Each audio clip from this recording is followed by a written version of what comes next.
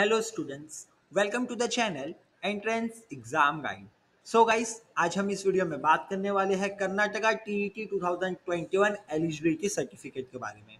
जी हाँ कैसे आप लोगों का कर्नाटका टीईटी 2021 का एलिजिबिलिटी सर्टिफिकेट रिलीज़ हो चुका है। किस तरह से आप लोग एलिजिबिलिटी सर्टिफिकेट डाउनलोड कर सकते हैं स्टेप बाय स्टेप प्रोसीजर क्या है ऑफिशियल लिंक कहाँ से मिलेगा? हर एक चीज़ डिटेल में डिस्कस करेंगे आज इस वीडियो में। सिंपली क्या करना है? डिस्क्रिप्शन में एक लिंक है, उस पर क्लिक करना है, इस तरह का इंटरफेस आपके सामने ओपन हो जाएगा। यहाँ पे आप देख सकते हैं एलिजिबिलिटी सर्टिफिकेट आउट फॉर नीचे स्कूल डाउन करने पे यहाँ पे आपको लिंक दिखाई देगी। क्लिक है जो डाउनलोड सर्टिफिकेट इस लिंक पे क्लिक करना आपके सामने इस तरह का इंटरफेस ओपन हो जाएगा। यहाँ पे कैसे आपको अपना hall ticket application number enter कर देना है। नेक्स्ट आपको डेट ऑफ़ बर्थ सेलेक्ट करना सिंपली आपको सबमिट पे क्लिक कर देना होगा।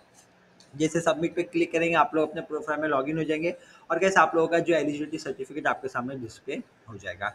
इन केस कोई प्रॉब्लम फेस होती है कोई भी इशू हो तो आप डायरेक्टली कमेंट सेक्शन में बता सकते हैं। हम ज़रूर आपकी मदद करने की पूरी पूरी कोशिश करेंगे। इसी के साथ अगर ये वीडियो अच्छा लगा और वीडियो आप लोगों के लिए बेनिफिशियल नॉलेजेबल रहा हो तो प्लीज़ लाइक कीजिए शेयर कीजिए सब्सक्राइब कीजिए और हाँ बेल आइकन बटन दबाना ना भूलिए। Thank you friends